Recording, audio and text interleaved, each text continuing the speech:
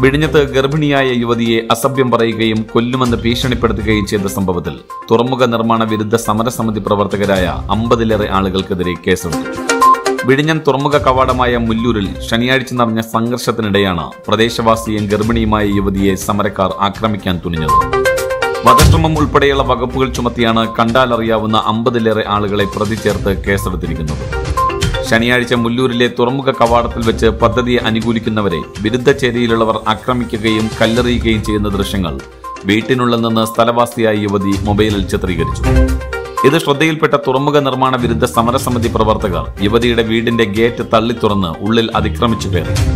ജനാലച്ചിലുകൾ തകർത്ത ശേഷം യുവതിയെ ആക്രമിക്കാനും ശ്രമിച്ചു. താൻ ഗർഭിണിയാണ് എന്നും ഉപദ്രവിക്കരുത് എന്നും യുവതി കരഞ്ഞുകൊണ്ട് പറഞ്ഞെങ്കിലും സമരക്കാർ പിന്മാറിയില്ല തന്നെയും ഗർഭസ്ഥ ശിശുവിനെയും സമരക്കാർ അസഭ്യം വിളിക്കുകയും കല്ലെറിയുകയും ചെയ്തുവെന്നും ഒഴിഞ്ഞുമാറിയതിനാൽ കല്ലേറിൽ പരിക്കേറ്റില്ല എന്നും യുവതി പോലീസിന് നൽകിയ പരാതിയിൽ പറയുന്നു. വധശ്രമം കലാപാഹ്വാനം സ്ത്രീത്വത്തെ അപമാനിക്കൽ അസഭ്യം പറയൽ വീടിനുള്ളിൽ അതിക്രമിച്ച് കടക്കൽ വസ്തുവകകൾ നശിപ്പിക്കൽ ഉൾപ്പെടെയുള്ള വകുപ്പുകൾ ചുമത്തിയാണ് സമരക്കാർക്കെതിരെ കേസെടുത്തിരിക്കുന്നത്. യുവതി മൊബൈലിൽ പകർത്തിയ ദൃശ്യങ്ങളിൽ നിന്ന് പ്രതികളെ തിരിച്ചറിഞ്ഞതായും പോലീസ് പറഞ്ഞു.